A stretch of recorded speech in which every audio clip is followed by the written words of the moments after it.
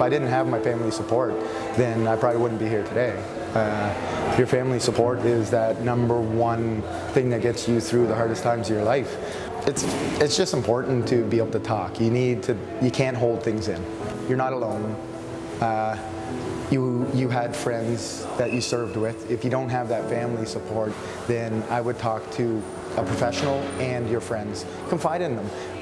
You would probably be surprised on how receptive they would be and that they may feel the exact same way you do and by you opening up to them, you may save their life and open them up.